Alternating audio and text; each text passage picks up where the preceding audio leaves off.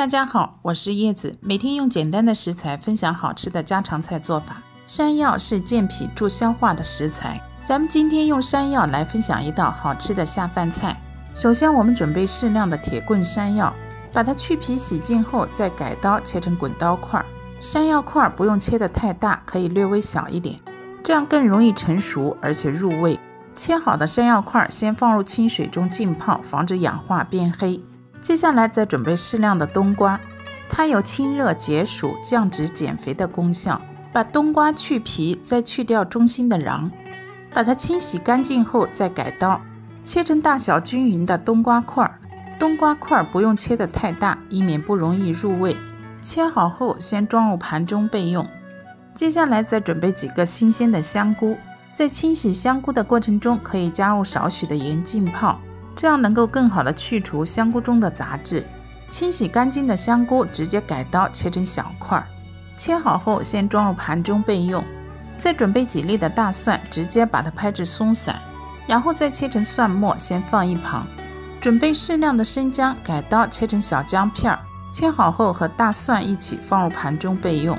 再准备一把的青蒜苗，把蒜头的部位先拍至松散。然后再切成蒜苗段，切好后装入盘中备用。接下来准备适量的腊肉，如果不吃肉也可以不用添加。把腊肉改刀切成薄片，再剁成小丁，切好后先装入碗中备用。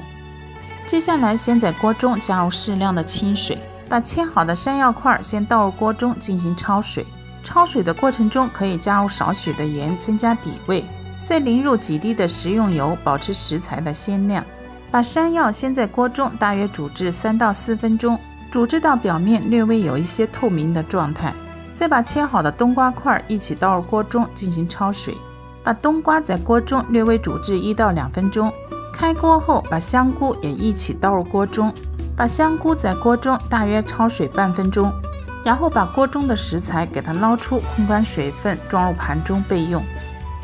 接下来锅洗净，加入少许的油。把切好的腊肉丁先倒入锅中进行煸炒，在炒制的过程中尽量煸出油分，把腊肉丁的表面煸出焦黄干香的状态。然后根据个人的口味加入适量的辣椒酱或者是豆瓣酱，采用中小火把它煸出香味，煸出红油后，再加入蒜末和生姜，给它充分的煸炒出香味。然后再把焯好水的山药、冬瓜和香菇一起倒入锅中。把食材在锅中和酱料一起翻炒均匀，在炒制的过程中可以略微多煸炒一会儿，这样可以让食材更加的入味。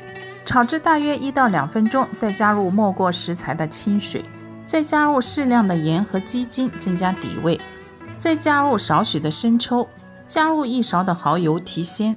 把锅中的食材翻炒均匀，用中小火略微煮至，把锅中的汤汁煮至到浓稠的状态。再把准备好的蒜苗段儿一起倒入锅中，翻炒大约五到八秒钟，蒜苗段儿微微变软，然后就可以出锅装盘了。这样一道营养又开胃的下饭菜——山药烧冬瓜，我们就做好了。山药和冬瓜用这种方法做，口感绵软又顺滑，而且非常的入味鲜香。喜欢的朋友可以在家试试这种做法。我是叶子，今天的视频就分享到这里。喜欢的朋友请点赞关注哦，感谢大家的支持，我们下期见。